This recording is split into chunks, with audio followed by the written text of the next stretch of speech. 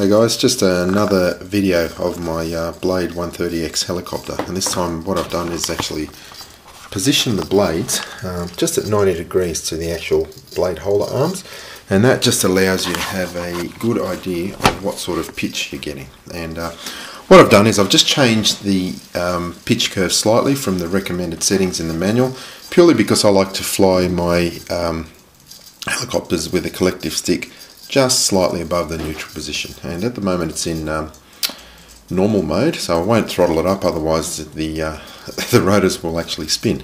But if I put it on onto throttle hold you'll see that's approximately the negative pitch setting. If I move the collective stick up to just above neutral which is about where I like to have it when I'm hovering you'll see that we've got a little bit of positive pitch and that seems to be enough to uh, to allow the helicopter to fly and hover nicely and there's your, your maximum positive pitch. So it's about the same and uh, my pitch curve is now in, uh, in this mode, in, in idle up mode, 0, 30, 60, 80, 100. So just the middle positions raised slightly and the, uh, the second and the fourth position in that pitch curve are just adjusted accordingly just to make it a linear adjustment between the two and uh, that's approximately what I use in my MCPXs and it? Just flies really nicely. And uh, as I said the reasoning for it is I just like to have my collective stick just slightly above uh, neutral. So that's just personal preference.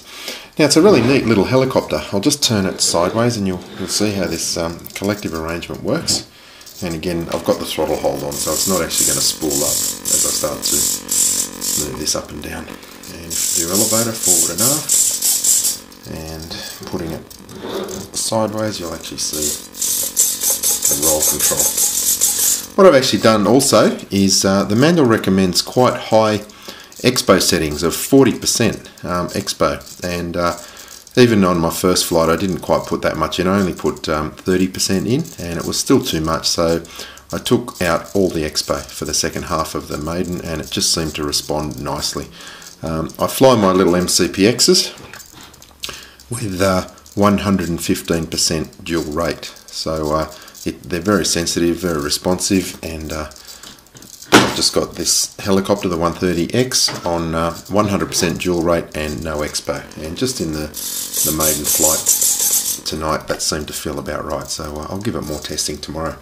The other neat little thing, and it's a work of art really, is this little uh, torque tube tail drive system and a little pitch slider operating its own servo. So yeah, it's really just a, a full collective pitch helicopter with a torque tube tail drive in micro size. So I don't know how fragile that's going to be, but let's hope I don't have too many crashes. Thanks for watching.